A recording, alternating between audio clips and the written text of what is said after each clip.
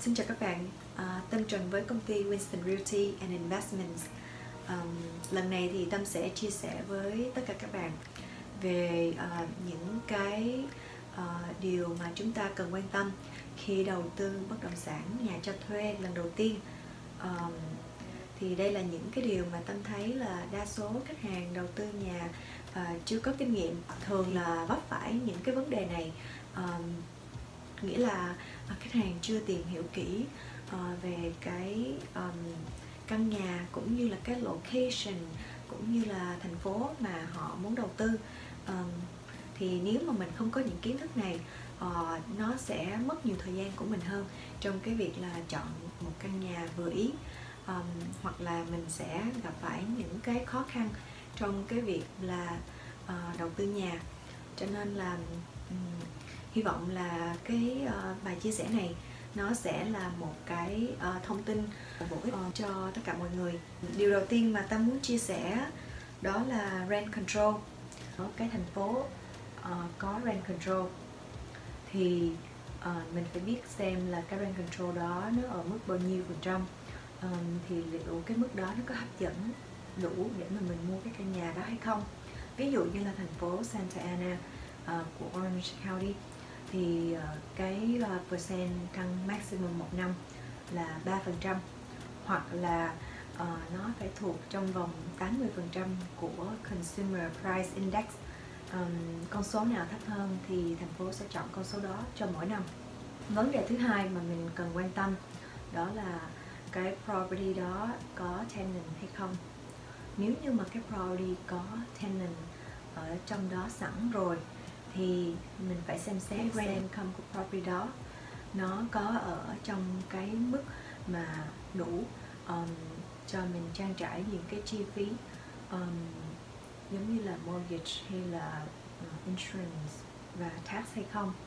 Um, nếu nó không đủ thì sau khi mình mua xong um, mình được tăng uh, với cái mức phần trăm cho phép um, của CD thì hoặc là mình được tự do tăng theo cái phần trăm mà mình mong muốn. Thì um, trong trường hợp đó cái con số đó nó có đủ hấp dẫn cho mình để mình đầu tư hay không?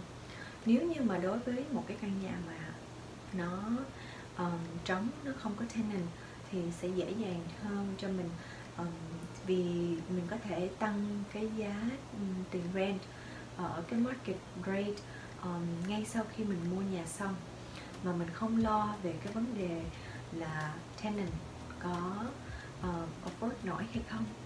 Um, bởi vì lúc đó là mình sẽ lựa chọn cái tenant có cái mức income phù hợp với cái um, rent mà um, mình ờ, sẽ um, định ra cho cái căn nhà. Vấn đề thứ ba mà bạn cũng cần quan tâm khi mua nhà uh, để đầu tư bất động sản à, lần đầu tiên. Đó là um, thành lập một công ty LLC uh, ờ, hay còn gọi là Limited Liability Corporation. Um, thì tiếng Việt của mình gọi là công ty trách nhiệm hữu hạn. Um, việc thành lập LLC nó giúp cho mình uh, bảo vệ được những cái tài sản cá nhân. Um, ví dụ như là uh, căn nhà mình mua để đầu tư uh, thuộc về cái LLC thì khi mà căn nhà đó gặp những cái vụ thư kiện uh, liên quan đến căn nhà thì LLC là cái thực thể sẽ chịu trách nhiệm về uh, những cái việc đền bù hay là uh, kiện tụng.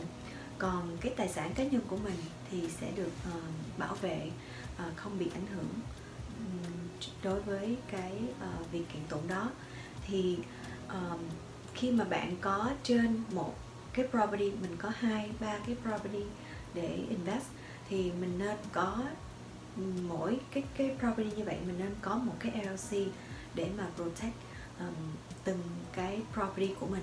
Cái vấn đề thứ tư tâm muốn chia sẻ uh, đó là 1031 exchange. Theo tâm tạm dịch là luật hoán đổi hoặc là trao đổi bất động sản đầu tư theo cái điều lệ uh, thuế 1031 này đơn giản là khi mình bán một cái tài sản đầu tư bất động sản nào đó um, và mình mua một cái tài sản bất động sản khác thì uh, mình sẽ được chuyển toàn bộ số tiền uh, số tiền vốn và số tiền lời.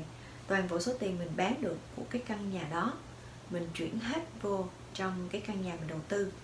Và cái căn nhà mình đầu tư thì giá của nó có thể uh, bằng hoặc là trên cái căn nhà mà mình đã bán thì toàn bộ số tiền đó mình sẽ được uh, trì hoãn thuế uh, không phải đóng.